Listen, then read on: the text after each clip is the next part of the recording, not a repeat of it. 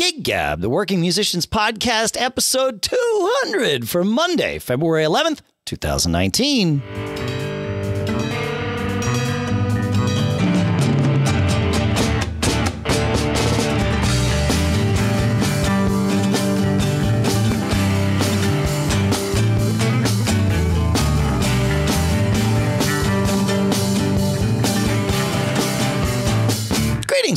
And welcome to Gig Gab, the podcast by, for, and about working musicians.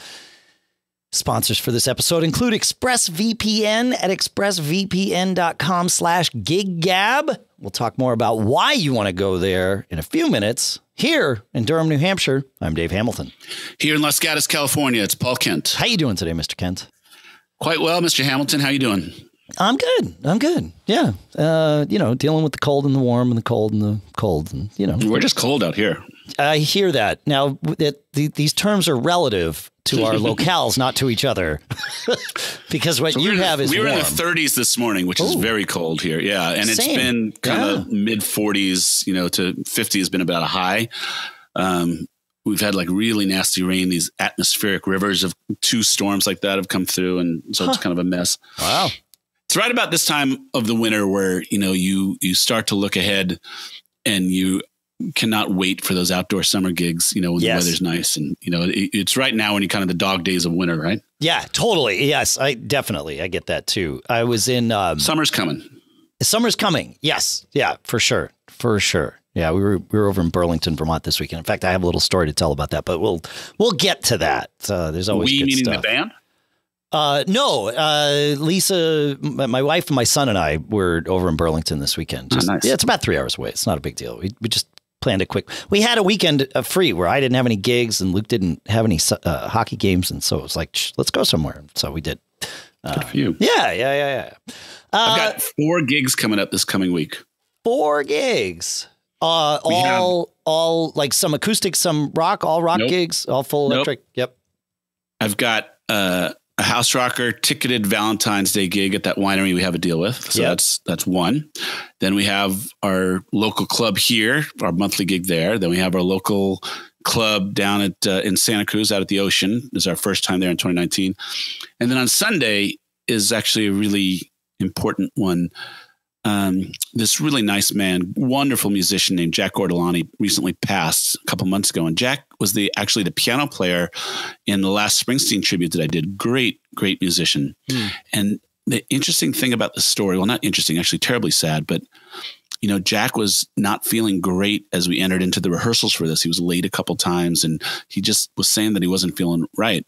And he actually got diagnosed with cancer about three or four days after the Springsteen gig Wow. and immediately started the process and then sad to share that he passed not long after that he battled he battled for several months but um, ultimately he lost that battle and um, he was in a band that was the best band in this valley for many years like the top corporate band called the garage band. Mary ellen who i sing with now was the singer in that band uh, and her husband tom was a bass player in that band and jack was the uh, keyboard player. And they're from rochester new york area. Jack and Tom, they really have been like lifelong friends.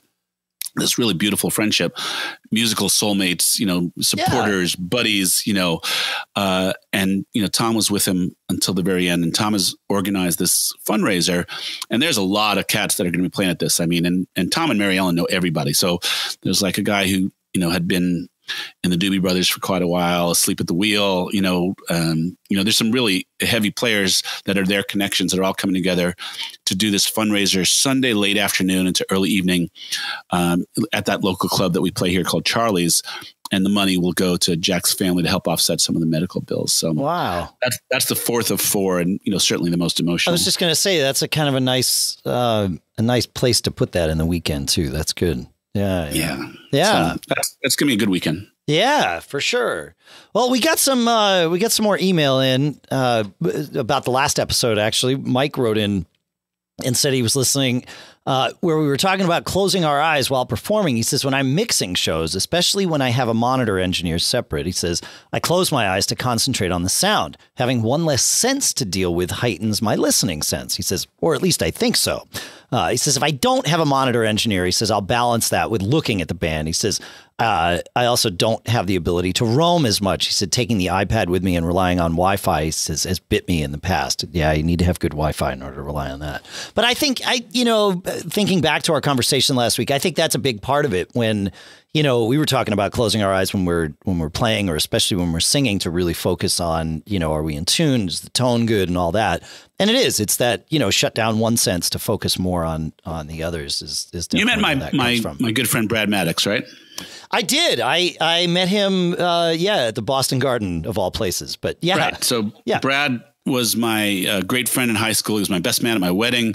You know, we know each other a long time. He went to Berklee College of Music and got a, a audio engineering degree and has been on the road, you know, for many many years now with some of the best bands in the world. Uh, and quite fortunately for Dave, he is the uh, on con, what is it called? He's on retainer sound guy for Rush for like the past twenty five years. So, yeah. so when Rush came through town, you know, Dave went in and got to see him but Brad um, is a very well known guy. He's toured with many people Shakira, Nine Inch Nails, um, um, Queensryche, Def Leppard for many years. Really interesting acts, um, Hollywood Vampires. Um, Brad, there's an article with him where he talks about when he does sound check, he needs a moment where you know, before a lot of craziness happens, he just needs to close his eyes and listen, kind of block everything out and just let all the other senses yeah. basically his audio sense, uh, you know, be the only thing that he's paying attention to. So I guess that sounds like a good trick for sound guys is to like, don't trust your eyes, trust your ears. Yeah and and uh, you know just but that that's a different thing than what I was talking about. I was it, talking it about the yeah for the but performer I, to connect with the audience and not detach too much from the audience. Sure, sure, but the, I think the closing our eyes is the same sort of thing. It's you know shutting down the, those distractions so that we can focus on the thing we're doing. But like you know even to Mike's point, you know if there's somebody you have to look at in his case, if he's mixing monitors, he's got to look at the band. If he if you're on stage, you've got to look at the audience. You got to balance that. Yeah, for sure, for sure. And then Mike, um, Mike had an interesting uh, story to share. He says, You were talking about rock musicians doing musicals. He says, A while back, I was doing sound for a musical. He says, We had a famous rock drummer in the pit. Uh, the music director gave the person the sheet uh, music at the first stumble, which is what we call the first get together when, when you're in theater, because it's a, a, stumble through. Says, So he gave him the sheet at the first stumble uh, with the changes from the rehearsals.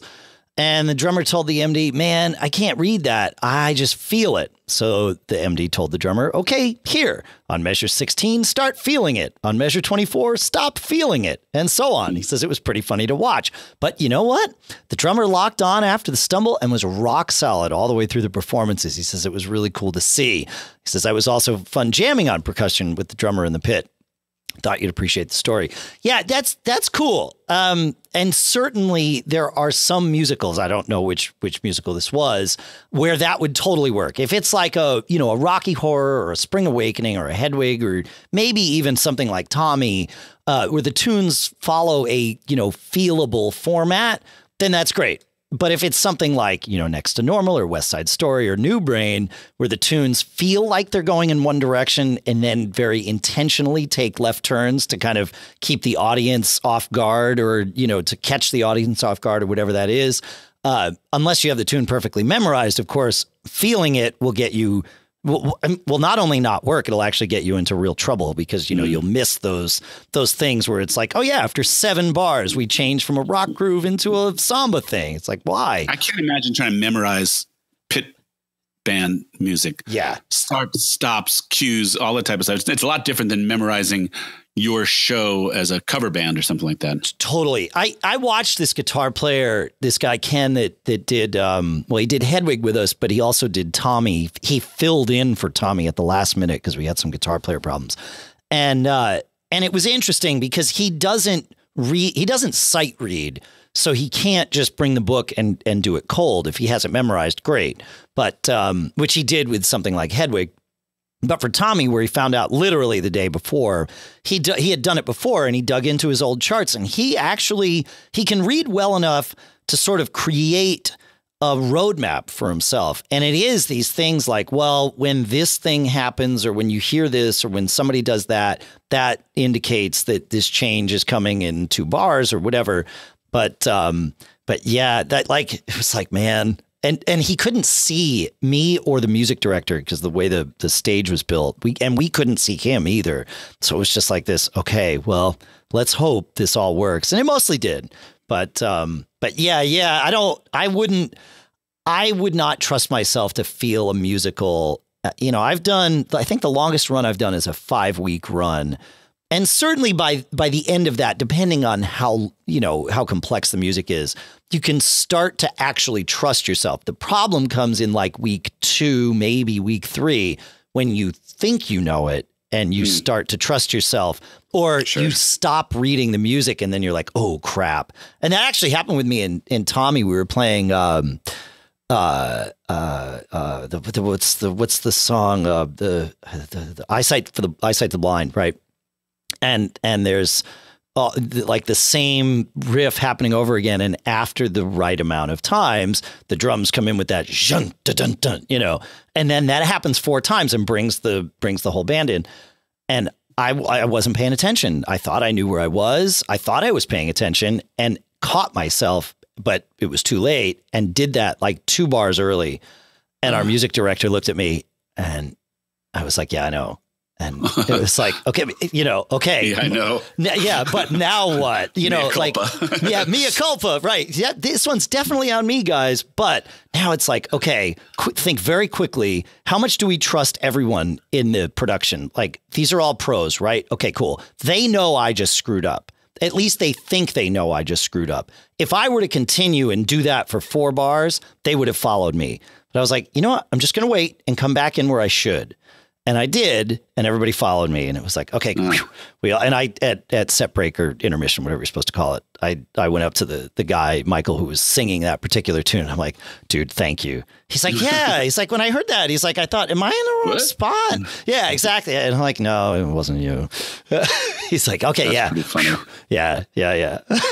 So anyway, those things happen. Yeah, don't feeling in musicals. It's not like playing a rock gig. So e- even when you're playing songs, you might play on a rock gig. It's not always. Well, you know, you can't. You. What's that? It is in no way, shape, or form about you. Well, that's no the part of it. No part of it is. That's right. Well, and that's true for most of it. Yeah, I mean, like Hedwig, it, it was about us, but but for the most part, no, it's not. And but also, there's even if it is about you, like even if the singer screwed up, like we'd we'd follow them, but it would cause major problems, right? Because there's probably sets that are moving, people that are moving into position. Like it's a it's an orchestrated thing. And it all really works best when everybody does things in the right order, not like no one should be calling audibles, you know, even accidentally. Yeah. Yeah. yeah. yeah. So, uh, hey, did you watch the Grammys? Uh, yeah, I wanted to get through our, our our two emails and and then one little thing, and then let's talk about the Grammys, shall we? That's fine. Okay, sure. cool. Um, because we got this email about we'd asked who we were talking about the piano player on "Feeling All Right," and we got an email, and uh, it was a guy named Artie Butler. Um, and I looked up this guy, and uh, it's fascinating.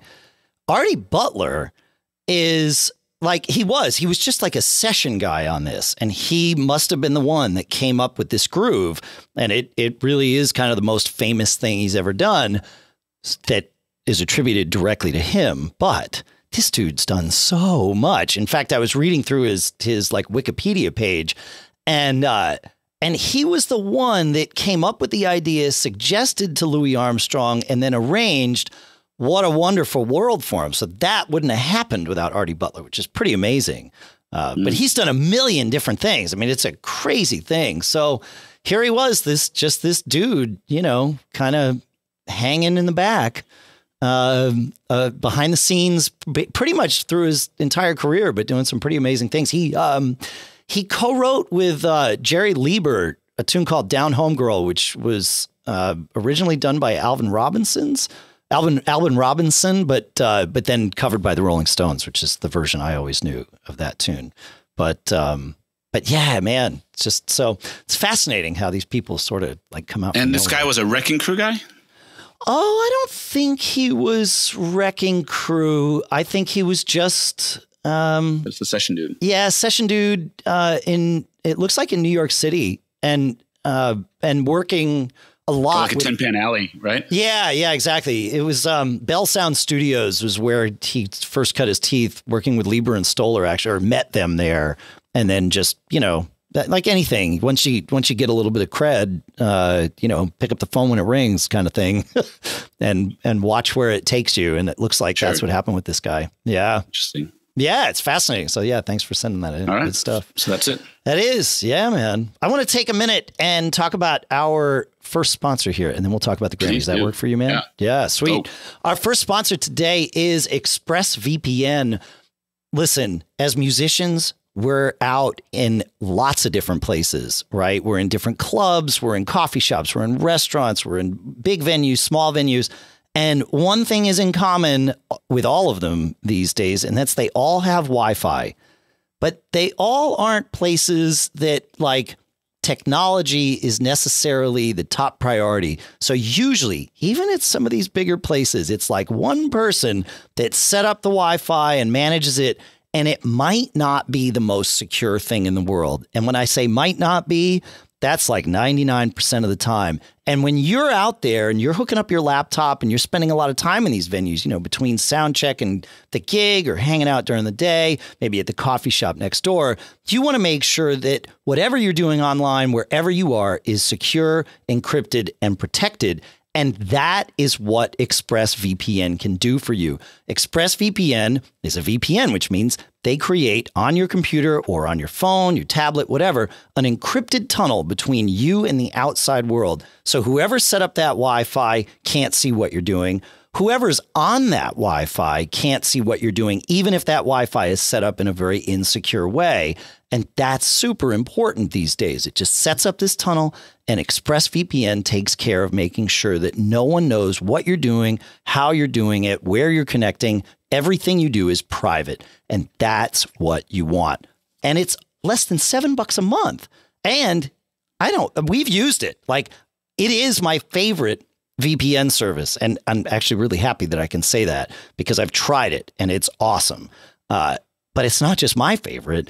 TechRadar rated it their number one VPN service too. And it comes with a money back guarantee. So if you ever use public Wi Fi and you want to keep hackers and spies or anybody else from happening to see your data, ExpressVPN is the solution. So you can protect your online activity today and find out how you can get three months free at expressvpn.com slash giggab. That's E-X-P-R-E-S-S-V-P-N dot com slash G-I-G-G-A-B for three months free with a one-year package. Visit expressvpn.com slash giggab to learn more. And our thanks to ExpressVPN for sponsoring this episode. Now, you mentioned the Grammys, Mr. Kent. I want to say thanks to ExpressVPN too, because it's great service and great people. So we're honored to have them as a sponsor on our show. It's great that they're part of what we're doing here. It is. It's really it's a, it's a good fit. Yeah, yeah. And I know we've heard from some of you who are using it too. It's fantastic. So yeah, Yeah. So Grammys, man, it was. Uh, I'm not a big fan of any of the award shows. It's not just a thing that grabs me anymore. My wife loves them. She, she- not the Grammys though, but um, the Grammys are an interesting thing because you know there's a vibe that comes out of the Grammys this year. It seemed like there was a really intentional um, subversion of rock influences in favor of you know hip hop and rap and you know that type of thing. And you know, to me, that is a reminder that um, the Grammys are are a machination of a music industry that will always go where the money is. There's no interest in the art. I just you just you can't say right. that. And yeah. and the most interesting part of all this is this is this juxtaposition. I thought, and many people, uh, you know, it was on quite a bit of social media today that the most memorable performance was by Brandi Carlile, a singer songwriter with a real band singing her own songs. You know, not a you know contrived you know rap you know R and B expression. It was a band and a songwriter, and and uh, that was the most memorable performance. So, you know, for us as musicians, it is a wonderful reminder that that that that tact of expro- of expressing art you know, through playing an instrument and singing, uh, you know, is still one of the most fundamentally moving things that a human being can do, you know, or can receive. Um, that was just proven out in all this, despite you know all the efforts to to downplay the interest in rock and roll. Um, you know, you had a band that you know really outshone the you know pairing up different hip hop artists and R and B artists and you know yeah, that was really interesting. But I do think that there's a, a very loud message that came out of that. That um, you know, the, the, best rock album wasn't even on the televised show, and you know, so all, it, all the rock categories were presented off the air before the broadcast. It's crazy. I mean, yeah. It, it, yeah, it's crazy to me. Like like you said, but if you follow choice. the money, right? That's right. It's a choice. Yep. It, you know, it's not an accident. Did you know that? Um, uh, you know, Vinnie Paul, the drummer for Pantera, wasn't included in the in memoriam section, which I think is kind of crazy. Oh wow. Huh. Yeah. I wow. That yeah, that's interesting. Huh. So Yep. Their eye is not on the ball when it comes to rock and roll. But I don't really understand how this all works because, again, if you look every year at the top grossing tours, meaning who's spending the most money, it's all these classic rock tags. It's always Springsteen, U2, you Rolling know, the Stones. Eagles. Yeah. I mean, so I don't really, I guess on a day to day basis, the people buying the 99 cent songs, you know, it must be the target market who the Grammys care the most about, or the record companies maybe still have those relationships with those artists and they make the most money off of them right at that apex before that initial contract you know turns into something that the artist then, then controls. So maybe maybe you know that that's where the money is. You, you understand what i'm saying? I do. Yeah springsteen sure. writes his own ticket and he can tour and he can keep his money and you know that's what he, he doesn't need the record company for that. But I think that there are a lot of artists that um, you know they get their first deal, and and uh, and again, this is absolutely subjective information is what I'm assuming. Sure. Yeah. And you know, they're selling records and they're working on their on their cult of personality and they get to that point before they're big enough to control their own destiny and it's the last chance that the record companies can make, you know, big money on one last tour or, you know, or control the, the terms of the record deal or or anything like that. So I wonder if that's the levers that are being pulled as to why, you know, the the record companies invest more into well, into the up and coming. Yeah, let's think about this, right? Because it, we know that these days um, people don't make money off of record sales like they at least not like they used to. There's there is some money to be made, of course, right? But uh, by and large, you know, record companies won't sign just record deals anymore. They sign what they call these 360 deals, where the record company becomes your promotion partner in everything that you do. And right. they take a piece of everything that you do, including your tour revenue. It used to be that they took a huge piece of your record sales and then, you know, you basically.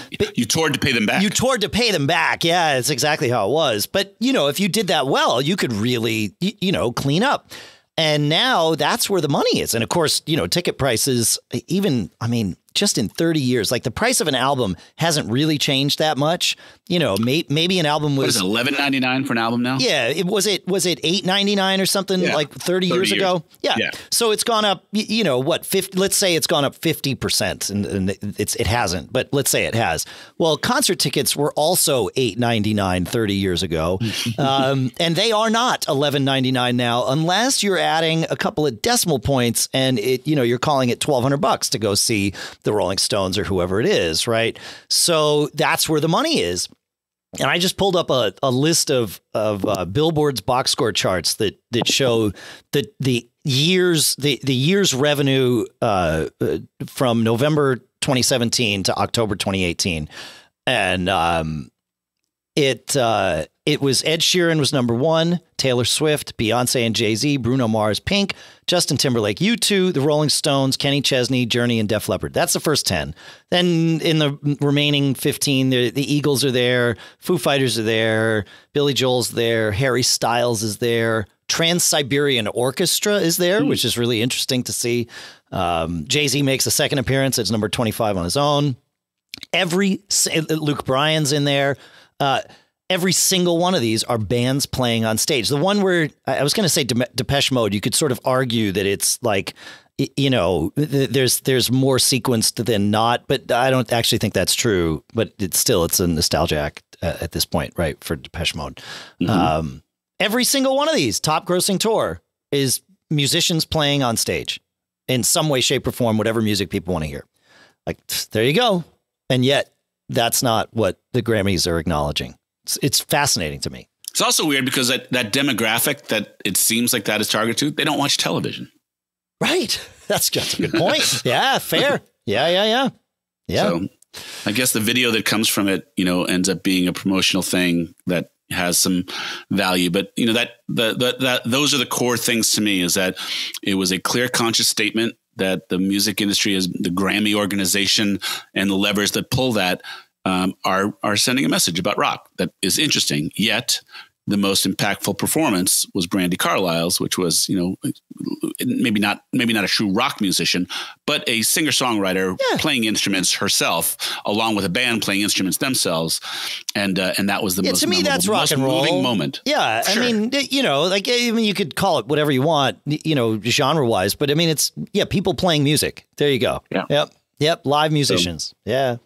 Um, I, I, had an interesting experience uh, a couple of Saturdays ago. We had the TV on, and it was basically just rolling us through episodes of Daryl's House while we were, you know, eating lunch and then cleaning the house or whatever. I love that show so much. It's so good, and you know, I was, I, I'm, I like that. Starting a few years ago, they opened it up a little bit more. Maybe when they moved to the new place, but you get to see more of the prep time that hmm. happens mm. as opposed to, you know, you used to get 10 seconds of, hey, okay, cool, let's play the song. And then they play. Yeah. Yeah, yeah. yeah. Well, but now you get you get maybe three minutes of that or four minutes of that, which I mean, certainly there's way more than that that goes in, as we all know.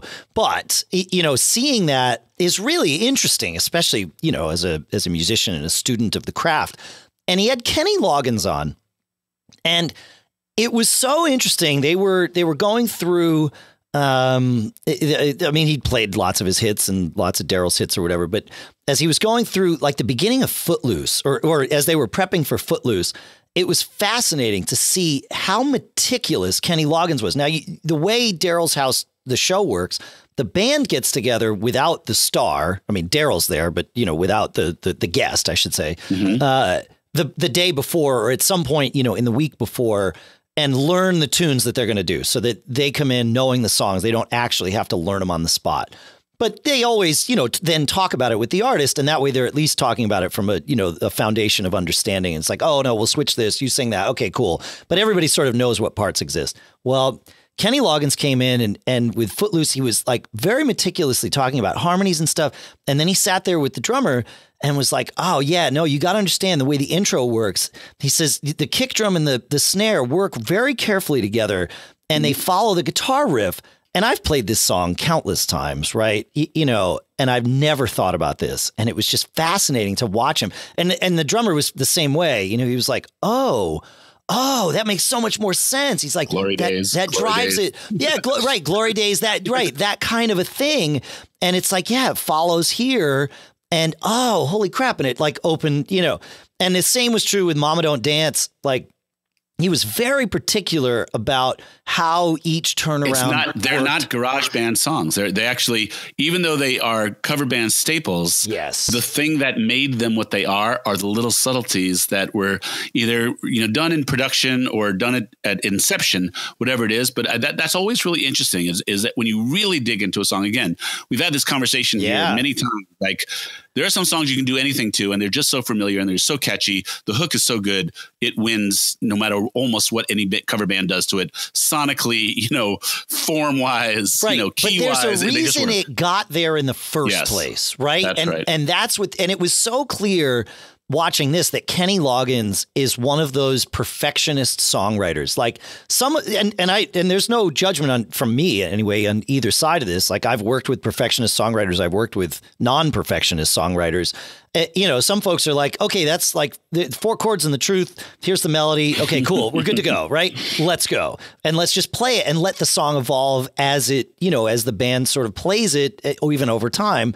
And then there's guys clearly like Kenny Loggins. I think Glenn Frey and Don Henley are this way, where it's just, you know, constant revision and iteration mm. and iteration.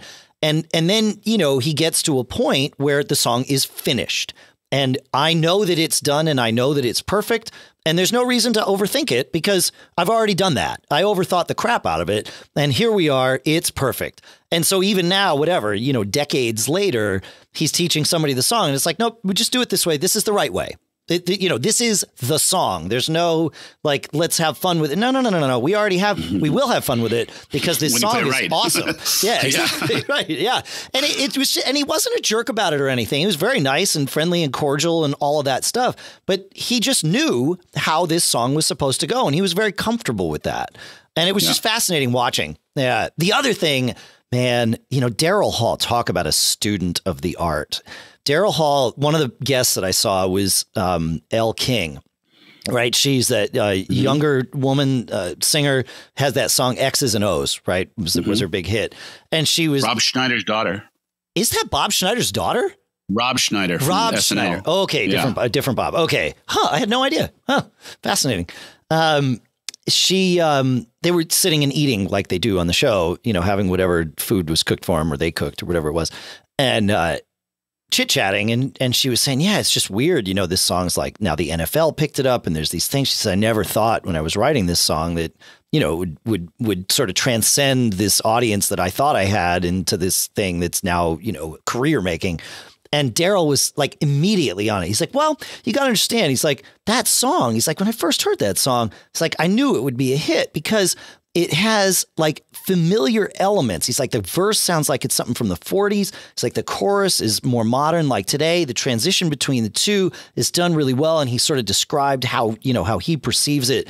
And it was clear that like why Daryl Hall and John Oates were the hit factory that they were because they understood. He's like, that's the key Definitely. to making a, a, a, hit song. He's like, you got to find something that's yours, but sounds familiar and people can catch on to it right away. He's like, and that's how you make a hit.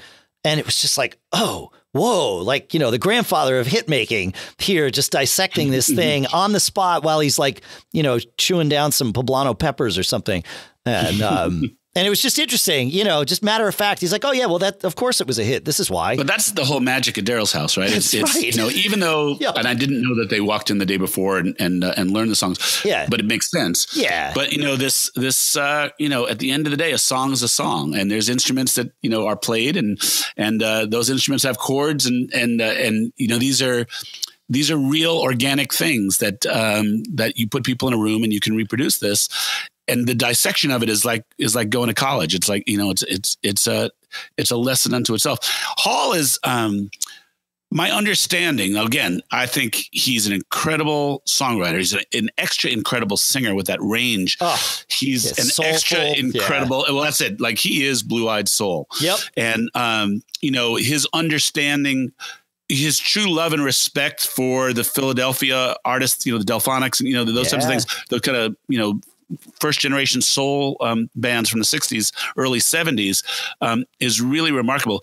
I understand he's a, a, bit of a prickly personality. He's like difficult, but maybe you don't get one without the other. Maybe, maybe he know, knows when he's right.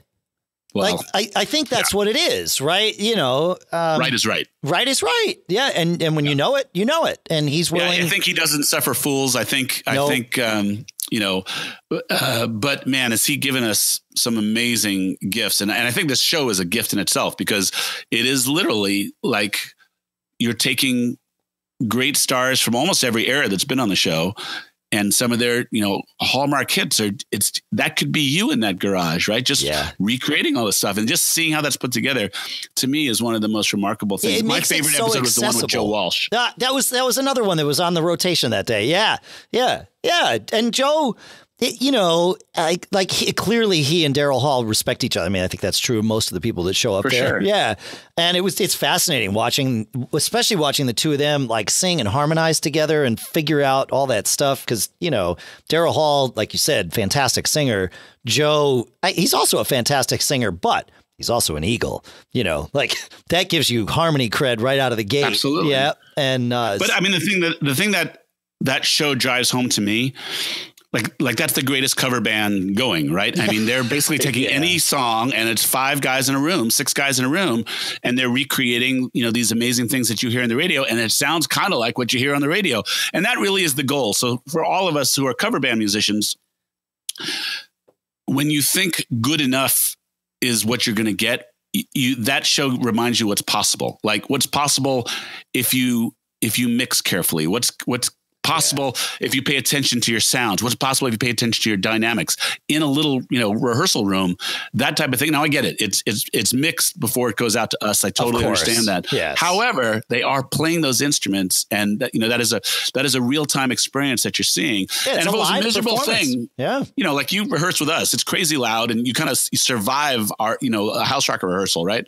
You're not hearing really everything. You're just kind of you're, you know, that, that's unique to you guys. Every other rehearsal I have sounds good. I'm just going to point that out. I, I, I, reject the premise that that's how it has to be. Fair enough. Um, but you know, that, that's, I think the real value in Daryl's house is that, you know, as a musician, it is, it is a, a, a live laboratory where you get to yeah. see how great songs are deconstructed and, you know, that uh, the conversations between the musicians are not a whole lot different than the conversation you and I would have about totally. know, how are we going to play. Oh, it's the, the same. The yeah, it's the same. It's I just it. one of us is Kenny Loggins in in that scenario. Yeah, yeah, yeah, that's right. And the other one is not playing with Kenny Loggins. So there you go. Yeah. and and it's interesting that I, I mentioned I was in Burlington this weekend. Sort of bring it all around. We wound up just going out for brunch at this place we've been before. It's it's called a place called the Skinny Pancake. It's a, a crepe place, and. uh and they have a stage there. And we were eating a late breakfast. It was about eleven thirty by the time we got our food or whatever, and we hung out. And this band, band, uh, uh, bluegrass. It was Bluegrass Sunday. This band from Asheville, North Carolina, of all places, was there called Hoot and Holler, and it's a a, a, a duo and they are young. I mean, probably in their, you know, maybe 20s, maybe 30s kind of thing. Maybe they're older than that. I don't know. But um, they were, you know, like definitely classic bluegrass people. They they were not pretending, regardless of their age. These are bluegrass folks, and uh, and I've had the pleasure to play with some bluegrass folks and uh, over the years, and and um, and these people were, you know, the two of them were right there. But it it was fascinating because you know bluegrass is is very much rooted in acoustic instruments, mm-hmm. and uh, mostly the there was a, a, man and a woman. The guy played uh, guitar, the woman played fiddle. They switched around. She played guitar at one point. He played banjo. Uh, but the really interesting, and they both sang, and they had one microphone.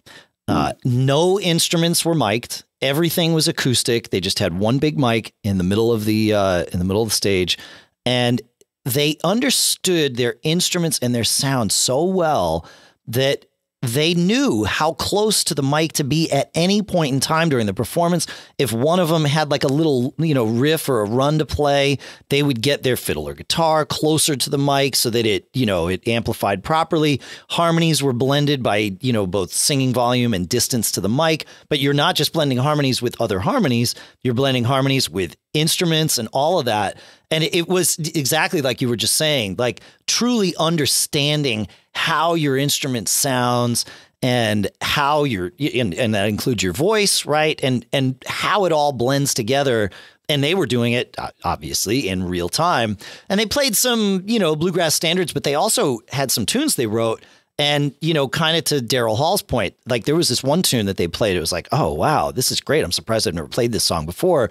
And, uh, and they announced at the end, they're like, oh, yeah, that's one of our originals. And it was like, whoa, that sounds like mm-hmm. a tune you've heard. It's like, oh, they've tapped into it. Like, this is good. This is good. They know what they're doing. So, yeah, yeah, very cool. I, I find that with, remember, we had the Kafis brothers. Yeah.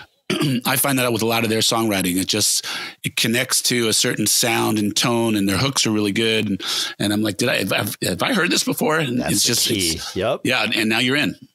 Yeah, now you're in. That's exactly it. Yep, now you're in. Yeah, so that's pretty cool. So I'll put a link to them in the uh, in the show Love notes it. too. But yeah, yeah, yeah, it's always good to always good to see. In fact, maybe we'll get in touch with them and see see if they'll talk to us about uh, life on the on the road. You know, doing what they do because I think they're just doing a, a like a tour of the Eastern Seaboard here. So they they left what must be warmer Asheville, North Carolina, to come up to very very cold and windy Burlington, Vermont. So yeah, cool. Well, that's what I got for this week. Do you have anything else, man? No, good stuff. We took a we took quite a ride this week, Dave. We've taken quite a ride over the last 200 episodes, my friend. That is very true. Yeah, thanks for listening. Thanks for all your feedback. That like it is so awesome to hear from you, and I I really mean that. So feedback at giggabpodcast.com. We would love to hear more from you. Uh, it really is what keeps us going. It it aims us in the right direction. You let us know what you like. Send in your tips, your your questions, your thoughts, anything you find, cool instruments, you know, different stuff. You and I, you and I need to revisit our Christmas lists because I have a feeling both of us might be using some things that were on them. So oh, we yeah. will do that in a future episode. But uh, yes, there you go. So thanks for listening, folks, and uh, and we will see you again uh, next time. Always be performing. Always. It's what else to do? Why? Uh, why not? Right? Why not? Nothing better. Have a good one. See you next week. Thanks, Paul. Hey.